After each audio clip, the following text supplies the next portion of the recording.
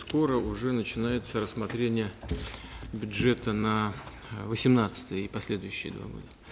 Я вот хотел на что обратить внимание. Э, на а, доходы военных пенсионеров. Э, о чем хочу сказать? Да, действительно, с 2011 по 2017 год у нас почти в два раза выросли э, пенсии военных пенсионеров. 1,9 раза. Э, но что привлекает внимание на 2018 год? Обычно, когда мы индексировали и денежные довольствия военнослужащих, и, денеж... и пенсии военные, мы делали это синхронно – я посмотрел, в бюджете на 2018 год предусмотрена, предусмотрена индексация для военнослужащих с 1 января, а индексация э, пенсии военным пенсионерам с 1 февраля. Э, это касается 2,6 миллиона человек.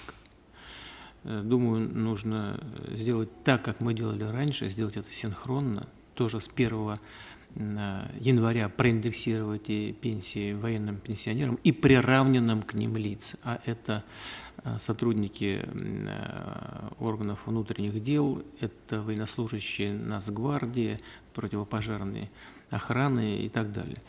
А, но для того, чтобы это сделать, нам нужно предусмотреть деньги уже в этом году, поскольку пенсии военным пенсионерам Э, выплачиваются месяцем раньше, то есть если мы с 1 января проиндексируем, то деньги нужно выплачивать в декабре.